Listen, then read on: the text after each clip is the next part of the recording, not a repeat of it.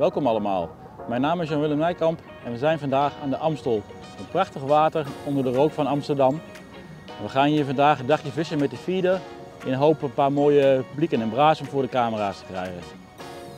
Ik ga zo meteen eerst even mijn hengels uitpeilen, even goed op afstand vastklikken, een voertje maken en dan gaan we aan de slag.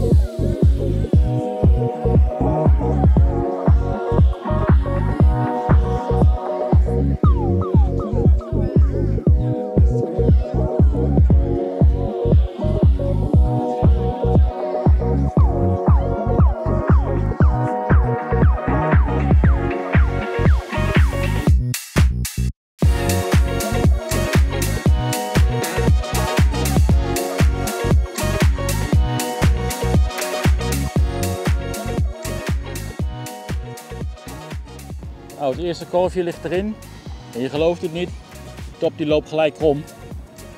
De eerste visje is al gehaakt. Ik heb uh, gekozen voor twee, twee stekken. Eentje op 25 meter en eentje op 42 meter. En uh, tot die afstanden ben ik gekomen door even zorgvuldig te peilen. Dat zijn dingen, daar moet je gewoon even de tijd voor nemen. Ik ben in het midden beginnen te peilen en dan steeds je lijn iets verlengen richting de overkant totdat je merkt dat, er, het taluut begint te komen en het ondieper wordt. En uh, juist in deze periode, half november, dan uh, kies ik ervoor om op de diepste plekken van het water te vissen. En die plek vond ik op 42 meter. En uh, feitelijk hetzelfde op op de, voor de korte lijn. Dus ben ik begonnen op 18 meter, de lijn steeds iets verlengd. En rond een meter of 25, dan zit je op het diepste punt van de Amstel. Dus die plekken ga ik bevissen.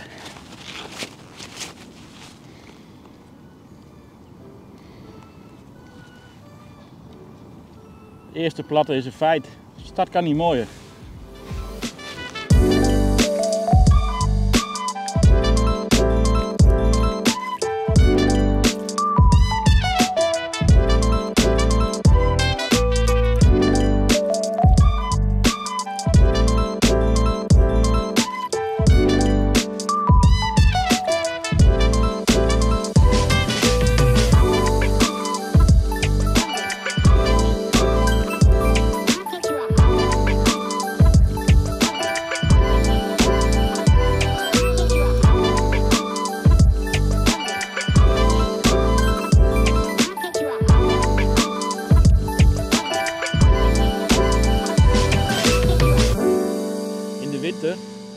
De watertemperaturen heel eind gedaald zijn, dan gaan de vissen veel voorzichtiger azen.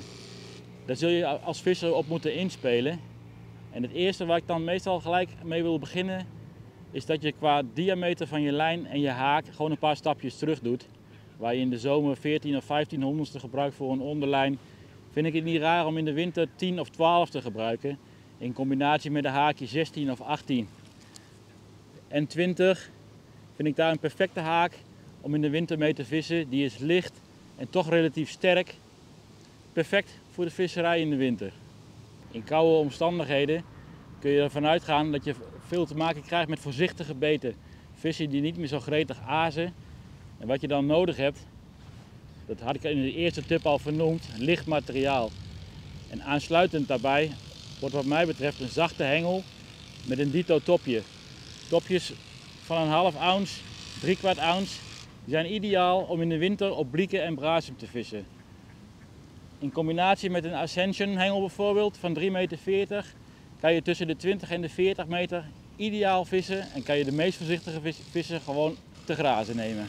De lengte van je voorslag heeft grote invloed op hoe goed jij de aanbeet doorkrijgt op je feedertip. Wanneer de vis goed aast, zoals in de warmere tijd van het jaar, dan is het heel normaal 8 of 10 meter, is wat bijna iedereen gebruikt. Maar voor de winter, als de vissen voorzichtig worden, dan schakel ik meteen om naar 6 meter en soms nog wel korter. 5, 6 meter maakt echt een wereld van verschil als wanneer je normaal gesproken met 10 meter vist. En ik heb zelfs voor de winterdag, als de vissen echt voorzichtig worden, één hengel klaar liggen zonder een nylon voorslag. Dus gevlochten lijn vanaf je molen tot aan de korf. En dan hooguit een stukje eh, powergum of iets dergelijks voor enige demping in je montage. Als je zoiets gaat proberen, zul je zien dat je echt de meest kleine beten kunt verzilveren. Een goed voertje, dat is natuurlijk ook niet onbelangrijk voor de winter. Nou ben ik daar persoonlijk niet zo heel moeilijk mee. Ik ben een groot fan van de, van de Dutch Master mixen. En wat wij heel veel gebruiken is zilver en yellow. Het mooie van die twee is dat ik feitelijk alle kanten met het voer op kan. Allround is 50-50. Is het meer een brazenvisserij, dan kun je ervoor kiezen om iets meer naar de yellow kant te gaan. Ga je 70-30. Ga je naar een schrale wintervisserij, dan kun je zelfs het aandeel zilver wat verhogen. Zilver, dat heeft ook een, een hoop kruidige bestanddelen. Dat geeft het voer activiteit. En zo kun je met die twee voertjes eigenlijk voor alle omstandigheden de ideale mix samenstellen. Voordat je gaat vissen is peilen van het grootste belang. In de winter is het niet zo dat de vissen echt naar je toe zullen komen om bij jou te komen azen. Je zult echt daar moeten gaan vissen waar de vissen zich graag ophouden. Ze zijn nu eenmaal een stuk passiever dan in andere tijden van het jaar. Dus peilen, dat is van het grootste belang. En met de feeder, ja, dat doe je dat eigenlijk heel eenvoudig door steeds maar te tellen hoe lang het, erover, hoe lang het duurt voor de korf na het ingooien op de bodem terechtkomt. En het handigste is, als je een plek niet kent, om gewoon op een meter of twintig te beginnen met peilen. Goed tellen, steeds je lijn verlengen en steeds maar weer tellen hoe lang het duurt. Zo krijg je voor jezelf een heel aardig beeld hoe de bodem eruit ziet. En voor de winterdag zou ik dan zeker de hoofdstek altijd op het diepste punt kiezen. Dat zijn toch vaak de plekken waar de vissen gaan overwinteren. En dan zou je er nog voor kunnen kiezen om op een andere afstand een tweede plek aan te leggen. Maar daar kom ik later nog even op terug. Bij secure vissen hoort ook compact voeren. Dat is heel belangrijk om precies daar te vissen waar je, waar je gevoerd hebt. En om heel precies te kunnen voeren, kan een kunststofkorfje soms net even beter zijn dan een gaaskorf. Je dropt precies het aas en voer alleen op je plek en zo weinig mogelijk onderweg. Een goede manier om dan te starten, vaak een sessie, is begin, je begint met een gaaskorf. Die geeft wat meer leven in de brouwerij en trekt misschien de eerste vissen aan. Zodra die vissen eenmaal op je plek zijn, een kunststofkorfje, dat kan het verschil maken. Om een haakaas extra aantrekkelijk te maken, is het vaak heel belangrijk om het gewicht van de haak op te heffen.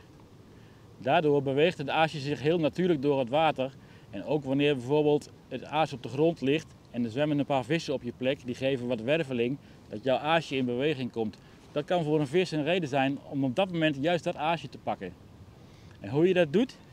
Drijvende maaien of zwarte kastes, die zijn ideaal om, daar, om, om het gewicht van je haak te compenseren. Het hoeft niet te drijven, maar je kunt wel het gewicht van je haak compenseren, waardoor het heel langzaam naar beneden valt of net tegen de bodem aan blijft zweven. Voorzichtige vissen zullen eerder zo'n aasje pakken dan een trosje maaien die met een zware haak op de bodem doodstil liggen. Zoals ik net had aangegeven, is goed peilen heel belangrijk. En wat ik al aangaf, het kan handig zijn om te kiezen voor twee stekken. Niet, alles, niet op één paard te wedden, maar twee plekjes aanleggen. Voor de winterdag op een water zoals hier op de Amstel zal dat waarschijnlijk betekenen twee verschillende afstanden, allebei in het diepste gedeelte van het water. Maar op een kanaal of op een grote plas kan het gewoon zijn dat vissen zich op verschillende dieptes ophouden. Blieken zitten vaak graag diep, maar grote brasem en voren die houden zich heel vaak ondieper op. Dus als je eenmaal goed gepeild hebt en je weet hoe het water eruit ziet, kan het heel verstandig zijn om op twee verschillende plekjes wat voer neer te leggen. Een paar korfjes is genoeg om een paar vissen een uur lang vast te houden. Maar het is wel van belang om tussendoor af en toe te kijken, zit er vis, zit er geen vis? Trek je één of twee korfjes snel leeg, ga je weer terug naar de oude afstand. En zo zul je zien, de ene keer zitten ze hier, de andere keer zitten ze daar. De vis kan zwemmen. Vissen is nooit hetzelfde. Als je in de winter nog lekker wil vissen, is goede kleding van het grootste belang. Te beginnen bij je voeten, een paar goede laarzen om je voeten warm en droog te houden. Ten tweede is een goed pak heel belangrijk, wind- en waterdicht. Nou, als je die combineert met thermo onderkleding, zoals een Celsius hoodie en een Celsius jogger, zit jij van de winter comfortabel aan de waterkant. En de laatste, en niet de minst belangrijke, is de innerlijke mens. Een bakje koffie of thee, dat gaat er altijd in als het koud is. Tot zover de tips en uh, ik ga nog even aan de slag. Kijken of ik nog een platter kan vangen.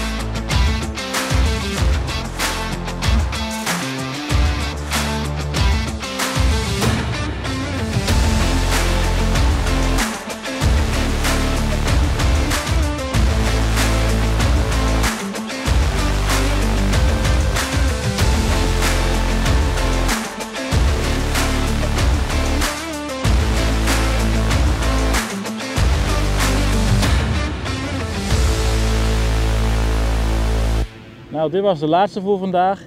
We sluiten de dag af. Het was een leuke dag met vlagen, leuk vis. Tussendoor, als de braas me even weg was, wat, uh, baasjes en wat andere kleine vissen. Maar ik hoop dat jullie het kunnen met de, met de tips die ik gegeven heb.